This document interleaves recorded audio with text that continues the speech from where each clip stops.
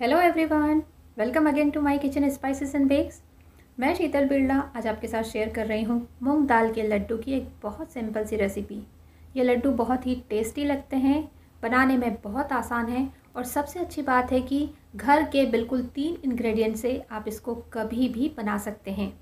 तो बनाना शुरू करते हैं मूँग दाल के लड्डू।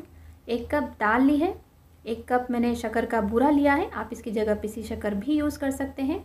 और घी ले रही हूँ एक कप, ज़रूरत के हिसाब से यूज़ करेंगे।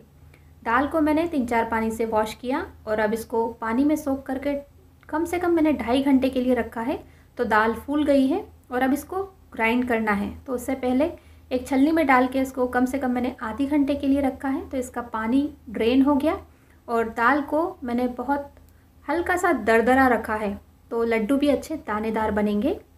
एक कढ़ाई में मैं ले रही हूँ अभी थ्री फोर्थ कप के करीब घी। घी को अच्छे से गर्म करके और उसमें डाल रही हूँ पिसी हुई दाल। और दाल डाल के इसको अब कंटिन्यूस स्टर करते रहना है। अभी मैंने इसकी हीट लो रखी है। एक्चुअली इसकी पूरी कुकिंग ही लो हीट पे होना है। और कंटिन्यूस इसको स्टर करते रहना बहुत ज़रूरी है। अदरवाइज़ दाल नीचे से ब्राउन हो जाएगी और दाने कड़क हो जाएँगे और फिर वो वापस सॉफ्ट नहीं होंगे। स्टार्टिंग में बहुत जल्दी जल्दी इस दाल का टेक्सचर चेंज होगा। अभी ऑलमोस्ट मुझे 15 मिनट्स हुए हैं और ये जो दाल का पेस्ट था, अभी ये क्रम्बली मिक्सचर हो गया है। स्पेटुला से इसके जो लम्स हैं, उसको ब्रेक करते रहना है तो कुकिंग और स्टरिंग थोड़ा इजी होगा।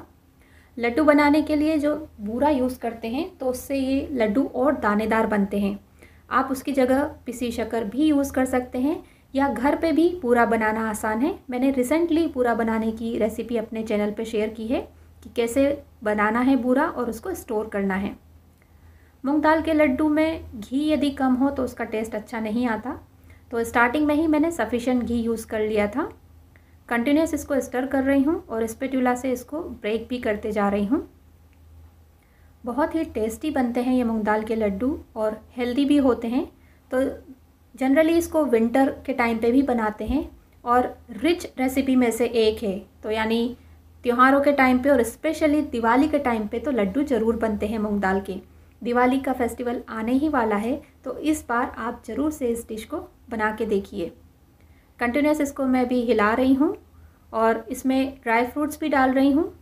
काजू बादाम और पिस्ते मैंने कट कर लिए हैं और उनको यहीं पे मैं इसमें डाल रही हूँ, जबकि इस मिक्सचर की कुकिंग ऑलमोस्ट होने आई हैं। तो ये नट्स भी इसी घी में रोस्ट हो जाएँगे और उनमें अच्छा सा घी का फ्लेवर आ जाएगा। इसमें से पानी पूरी तरह ख़त्म हो चुका है और दाने बहुत अच्छे से सेपरेट हो गए हैं और मिक्सचर का कलर भी हल्का सा लाल होने लगा है। तो मैं गैस को बंद कर रही हूँ। इस मिक्सचर में अभी खुशबू बहुत अच्छी सी आ रही है और इसमें घी भी अभी सफिशेंट है। लड्डू बांधने के लिए इसमें मिलानी है शक्कर। तो इस मिक्सचर को हल्का सा गर्म होना चाहिए, तभी इसमें बूरा या पिसी हुई शक्कर आप जो भी यूज़ कर रहे हैं, वो और इलायची पाउडर मिला के इसको मिक्स करना है। बहुत अच्छे से इसको मिलाना है और हल्का गर्म होने से इजी होता है इसके लड्डू बांधना शक्कर मिलाने के बाद भी आपको लगे कि ये मिक्सचर ठंडा हो गया है तो आप हल्का सा इसको गर्म कर लीजिए और लड्डू बाँध लीजिए। बहुत बढ़िया मूंग दाल का लड्डू बन के रेडी है। इसी तरीके से सारे लड्डू बनाने हैं।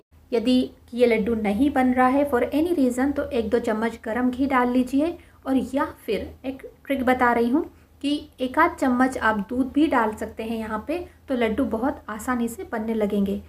मैंने स्टार्टिंग में ही इसमें सफिशेंट क्वांटिटी में घी यूज़ किया है।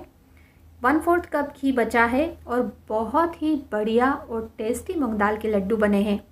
बहुत ही सॉफ्ट हैं और दानेदार हैं। अंदर से भी इसका टेक्सचर आप देखिए कलर भी बहुत अच्छा आया है।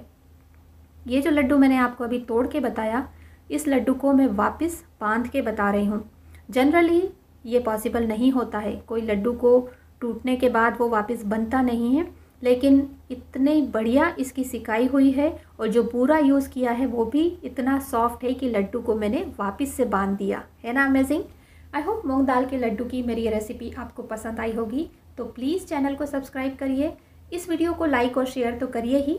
आप जब मेरे दूसरे रेसिपी वीडियोस देखते हैं तो प्लीज़ उनको भी लाइक और शेयर करते रहिए। इससे मुझे मोटिवेशन मिलता है आपके लिए और नए रेसिपी वीडियोस बनाने का। Thank you so much for watching see you soon bye